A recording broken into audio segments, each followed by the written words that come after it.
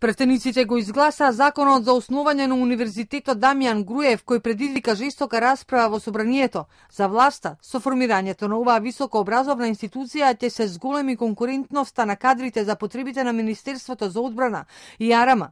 Но Универзитетот, студентите ќе можат да студираат и на факултетите за економија, архитектонски и наградежен. За претеничката Роза Каровска Топузовска, Универзитетот се носи незаконски, без елаборат, буџет и без студиска програма.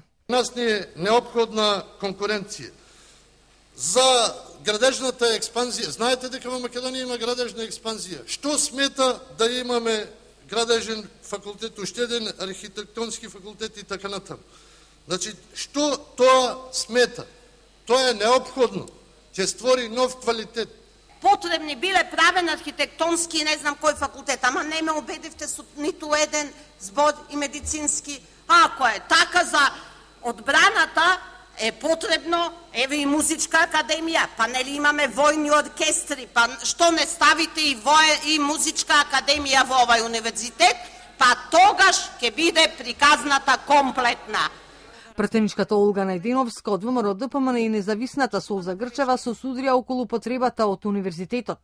Да си правиме факултети а, кои што ќе ги произведат супериорните кадри во ова би рекла, еве сакам да го употребам тој збор, тоа е мој личен збор што го употребувам бидејќи а, овој универзитет е замислен, значи, не да произведува а, а, квантитативна бројка на студенти, ниту на медицинскиот, ниту на правниот, ниту на економскиот факултет, по 20 студенти. Почитувана колешка од тоа ке, ке, ке, глава ме заболе, стварно и ме боли нонстоп. Све ке биде ке има квалитет, ке нам... Вие три пати, пет пати употребите зборот кадри, за младите студенти кадри. Не е ова производна лента, вие ги сметате факултетите и универзитетите како производна лента. Денеска претениците го изгласа и предлогот за основање на универзитет во Тетово. Тука ја прекинувам седница, продолжуваме